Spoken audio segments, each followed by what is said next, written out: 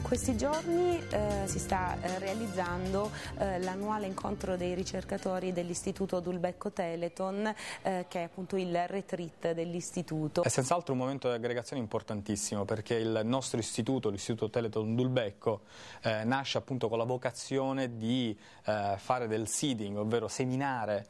vari gruppi di ricerca in realtà già strutture esistenti un po' in tutta Italia, nelle varie realtà accademiche e non, per cui questo è un momento unico in cui fisicamente noi che apparteniamo a questo istituto virtuale possiamo essere riuniti, in un unico posto ed è senz'altro un'occasione importantissima per eh, poter cogliere quelle che sono i, le maggiori linee di ricerca che senz'altro tutti quanti conosciamo, però che vengono esposte nei dettagli soltanto in questo momento, in un momento di aggregazione come un meeting. I ricercatori del DTI vengono selezionati da parte di pari, quindi di eh, ricercatori, di scienziati che abbiano la competenza per valutare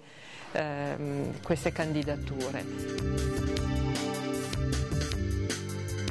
Attualmente l'istituto comprende 22 ricercatori, eh, ciascuno dei quali è stato in grado, con, eh, grazie al sostegno di Teleton, di mettere in piedi un laboratorio composto da 5 a 20 persone eh, che lavorano tutte su eh, progetti di ricerca sulle malattie genetiche. In totale possiamo eh, dire che ci sono più di 130 persone afferenti al progetto di TI. Non è Teleton che ehm, chiede e impone impone delle linee di ricerca specifiche. Eh, sono i ricercatori che ci propongono le loro idee e eh, noi, la nostra commissione, selezionerà le idee migliori. Noi abbiamo una richiesta, cioè devono riguardare le malattie genetiche, perché queste sono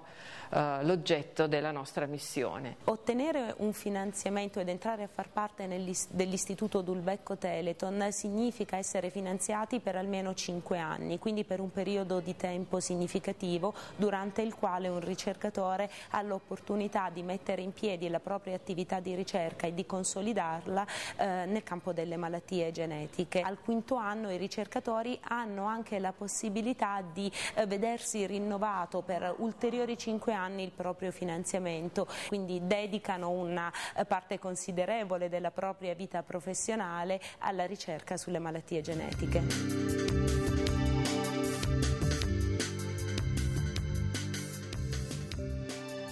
Un nostro grande scienziato diceva scientists decide upon science,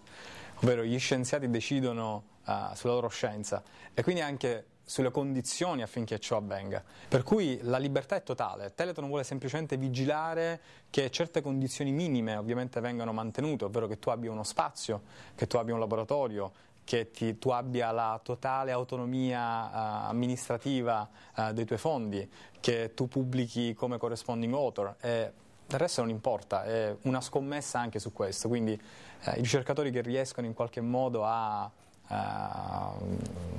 a accettare, a cogliere questa sfida e avere successo in questa sfida vanno avanti, chi non ci riesce resta indietro, è, è esattamente la, la, la legge della scienza.